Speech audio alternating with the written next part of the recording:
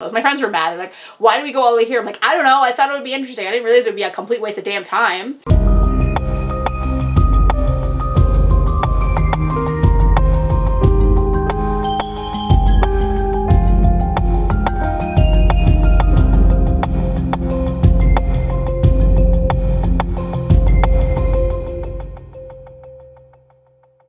Hello, welcome to Sound and Fury Book Reviews. As usual, I'm Tina, and this is my first ever tag video.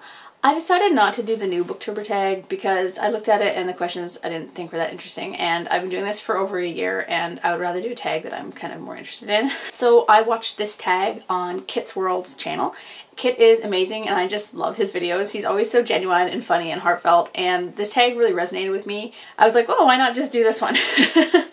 uh, Kit was the one who invented this tag, so I recommend you check out his channel and his video. I've included the link below. And this is the off-topic book tag.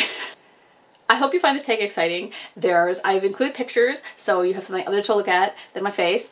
And uh, I tell a very interesting story at the end about escaping the cops. So, um, yeah, if you want to know more about me, this is the video to watch. The first question is, excluding book-related things, what are your favorite activities? I have a lot of hobbies. like I have way too many hobbies and interests. I'm definitely one of those like jack of all trades, master of none people. My partner says I do everything half-assed and I, you know, I used to be like, no I don't. And now I like embrace this concept. I'm like, you know what? there's no point in doing anything full ass because there wouldn't be time for anything else. So what are the stuff, what's the stuff that I do regularly half-assed? Uh, enough that I consider them hobbies. Cooking. I love cooking and baking. I love trying out complex dishes, you know, that takes take hours to prepare. You know, I like trying new styles and, you know, food from different cultures. I, I just love it. Uh, I love making cakes and other confectionaries. Um, I don't, I wouldn't say that my stuff is bake-off worthy because uh, definitely not in terms of decoration, but I'd say my stuff tastes pretty good. I like to play sports. I don't watch sports. I find watching sports boring, but I love playing sports. Um, I paddleboard. I've played soccer my whole life. Uh, I, I ski. I used to race slalom actually, and by race I mean I was on the team, not like I ever qualified or even, you know, completed a race successfully. Uh, I golf terribly, and I love, love, love swimming. I love swimming. I hate working out though, I will say that. I don't think anyone, well, some people probably enjoy working out. A big hobby that I have is home renovations. So I have a certificate in interior decorating, brag. Um, my partner and I have DIYed our entire house. I mean, we hired out drywall in a couple rooms because, you know, if you don't do drywall all the time, it takes forever and it's messy and if you screw it up, it looks terrible. Uh, we hired out the main floor tiling because that was a lot of tile and, you know, we wanted it to look perfect. and then our kitchen cabinets are custom. But everything else we've done, like we've done our, everything except for our master bedroom we've renovated in this house, including our entire basement, which is about, I think it's like like at least a thousand square feet. We've done, I think, three bathrooms, including all the tiling, replacing the fixtures, replacing the showers and tubs and everything like that. We gutted our entire main floor, took down walls, put up new walls, everything like that. I was also a residential painter as a job for a few months, so I'd say I'm pretty handy. I did do all the trim in my office though by myself, so I was pretty proud of that. I think I did a pretty good job. I still have to paint some of it. uh, anyway, uh, another hobby that I do is writing, obviously. I've been writing since I was 12. I've talked about this a million times, but it's my baby. Uh, yeah, so I've got another book coming out uh, next year, a trilogy. I've talked about this before, and I'm not going to talk about it anymore. I play video games when I have time. Uh, I love anything Fallout related. I've played Fallout 3, you know, up to Fallout 76. I tried to play 1 and 2, but I can't handle there being no map. I get so lost. I just can't do it.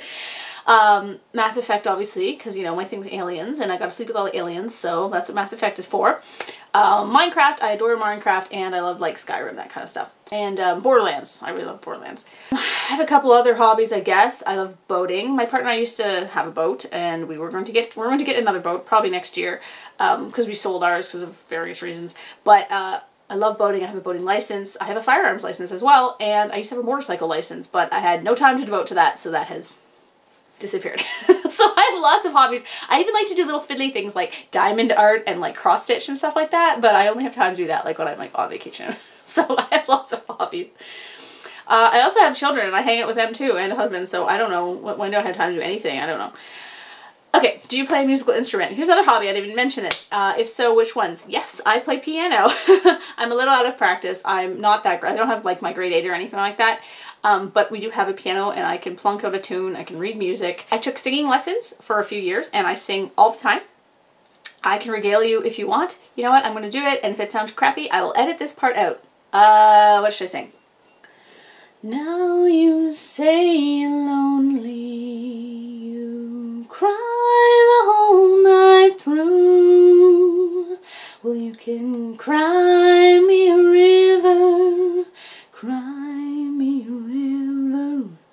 I cried a river over you.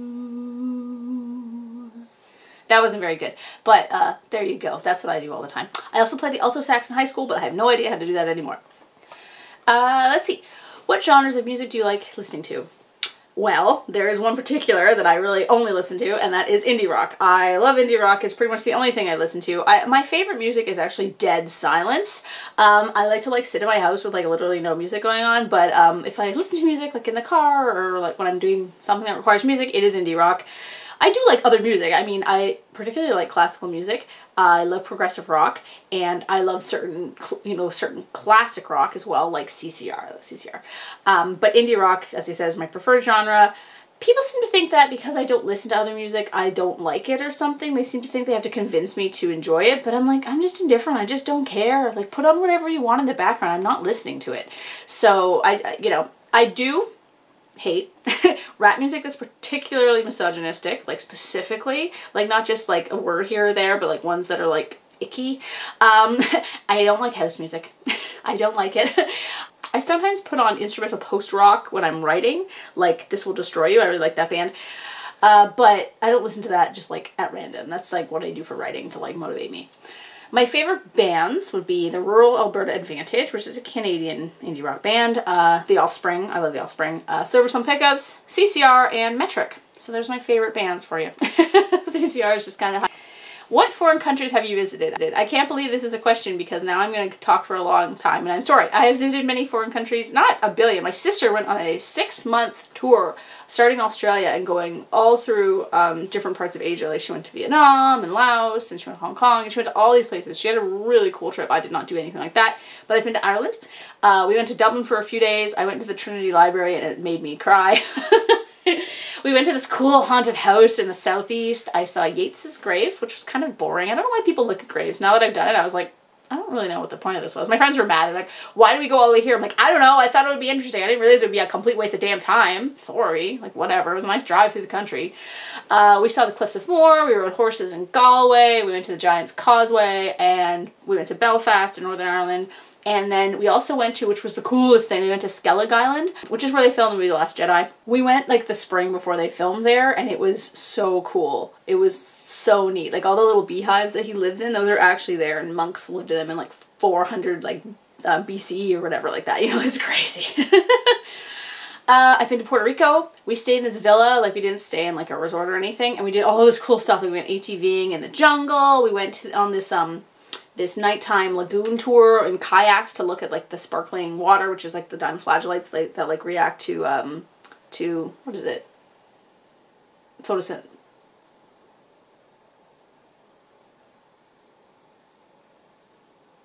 I can't remember what the term is for what they do. they sparkle in the, in the, night in the water. Anyway, we went to a coffee plantation. We went to San Juan. I adored Puerto Rico and I would totally go back. Uh, I've been to Germany because my dad lives there, so we've toured all over there. Um, Berlin, we've done nights out in Hamburg, various places, you know, Cologne. Uh, we went to this really cool castle called Wartburg Castle, which was really neat. Uh, we drove from Germany to Brussels, and I got tanked in Brussels, in Belgium, just absolutely ruined there. Um, and then we went to Vimy Ridge in Paris, in France. I've been to Cuba, Dominican, Mexico, and Jamaica. Uh, I've also been to many of the American states. Um, I did two road trips. I did one down the east side and up. And like the highlights of that were we drove like three hours into like backwoods Ohio looking for this like ghost town called Moonbeam and we actually found it by hiking like half an hour through the snow. I loved to Baton Rouge and Savannah, Georgia was like amazing. Uh, the second road trip I did in the States was to Arizona and back, and the highlights of that being uh, we drove, we did this crazy like 3,000 foot high cliff drive in our Jeep. in Moab, Utah. That was awesome. We went to um we went to like a national park in like New Mexico where they had all these like petroglyphs and like these um like uh petrified the petrified forest where you know all the all the the trees and the wood have become like rocks. So it's really cool. And then the Grand Canyon. I've been to the Grand Canyon twice. So I went to the Grand Canyon, the, the main side that has all the touristy crap on it. Went there on that trip. And then I've been to Vegas, like Las Vegas, twice. And both times I took road trips in the desert. The first time we checked out some ostriches and then we went to the western side of the Grand Canyon. And then the second time I was there for a bachelorette party. And I, because I'm antisocial, I guess, I rented a Mustang by myself. And I did this like eight hour drive through Nevada. I went to Red Rock Canyon and then I drove all the way down to California. I basically stopped up on all these places that are in the game Fallout New Vegas because I'm a dork. But it was really fun and it was really cool. And like at one point I was going down this stretch of highway and there was like nobody on it for like 45 minutes and I was just booting it. I was like 110 it was kind of freaky because I was like, if something happens to the car, like uh, who knows? And it was like so hot. It was probably like 40 degrees out. Like I kept reapplying like 100 sunscreen like every five minutes because it was a convertible. Anyway, I've also been to British Columbia and Newfoundland, and uh, next four on my list, top four would be Scotland, Amsterdam, Tokyo, and Iceland. Um, but I have small children, so who knows if this will happen. We'll probably just end up going out east again. that was long, sorry. Um, have I ever been arrested for something hilarious? Share it, but only if it's safe to do so. I've never been arrested because I didn't get caught. Uh, when I was quite young, a certain movie was very popular, or at least a movie series, Fast and the Furious.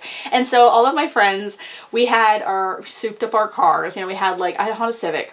It was a 99, so that tells you that. This was probably 2002, so I was probably 19 or 18 when this happened.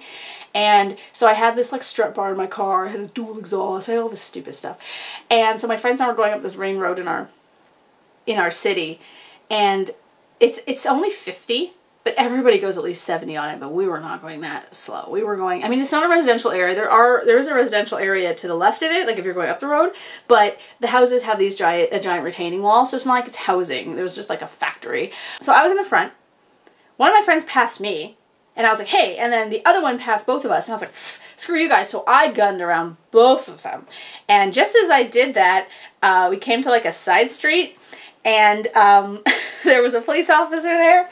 And so I didn't notice this until I got to a stop sign further on and I saw in my rearview mirror the lights and I was like, uh, the first thing I did was I was like, nope. Through my head, I was like, if they catch me, they're going to charge me with stunt racing. Because this was a new thing at the time where like they were charging people for doing this that they should have. It was very dangerous.